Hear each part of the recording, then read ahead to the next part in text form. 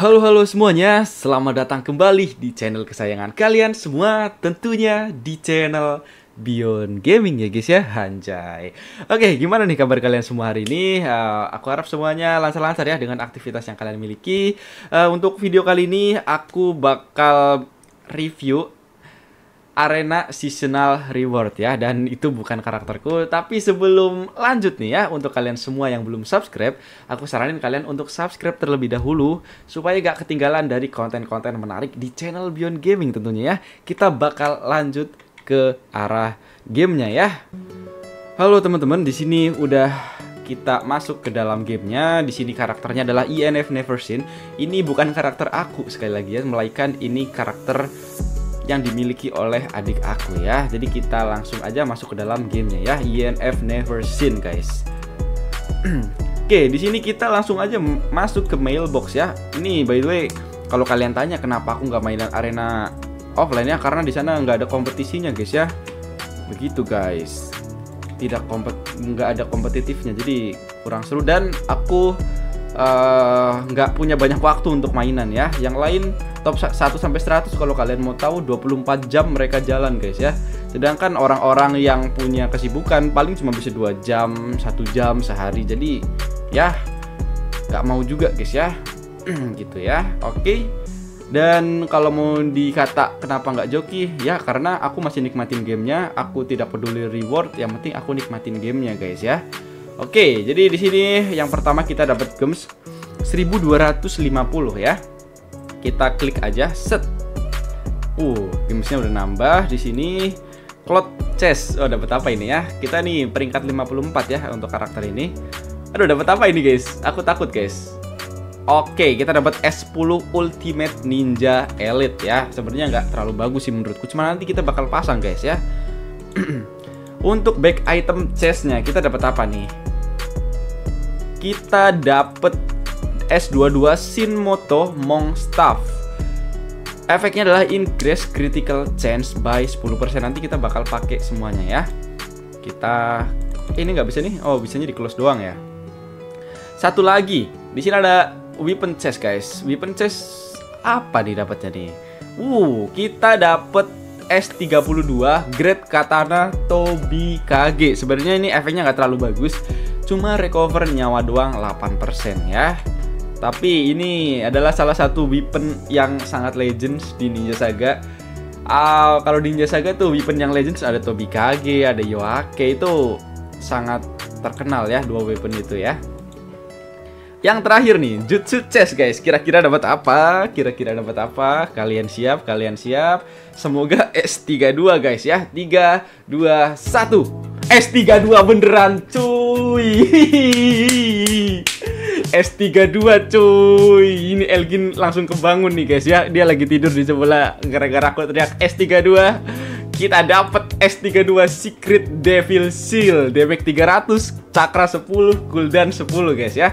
Use the power of the darkness to drain 33% Berarti ini efeknya adalah ngedrain 33% targets cakra dan inflict chaos dua turn ya. Di sini aku mau screenshot dulu guys ya.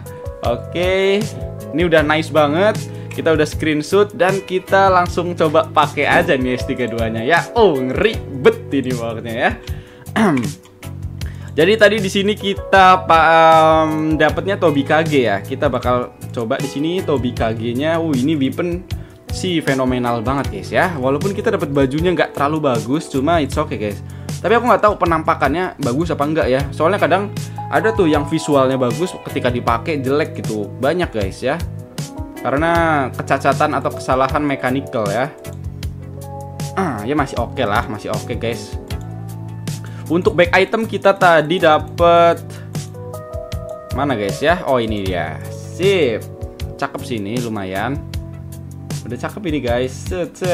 Jutsunya kita bakal reset clear dan S32 ya anjas keren bet keren bet kita coba nih ya oke nice banget ini guys gas gak sih Alah, dodge ya.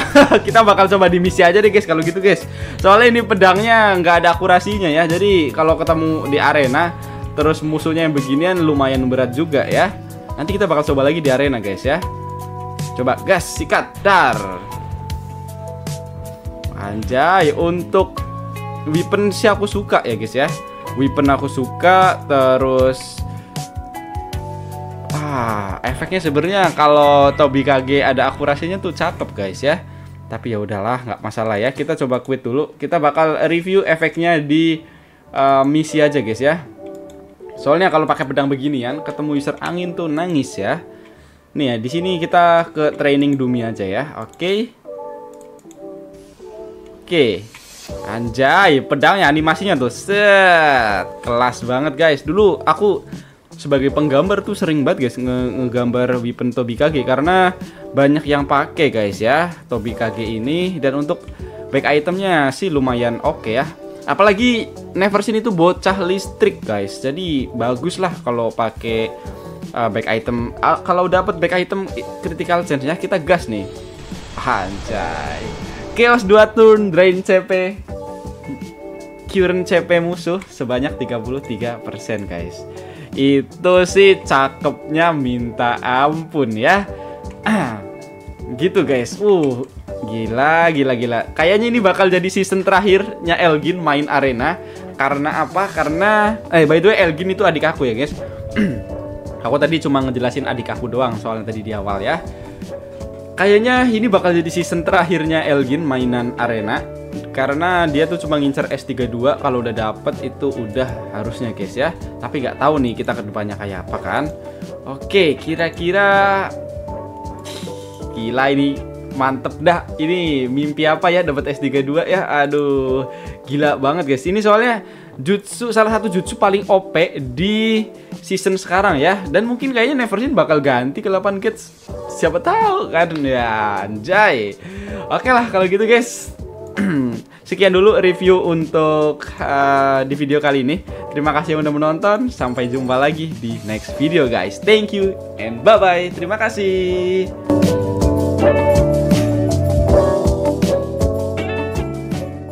Guys, kalian kalau mau pesen gambar, jangan lupa untuk order di Beyond Arts ya. Untuk linknya nanti aku taruh di deskripsi. Sekian dan bye-bye.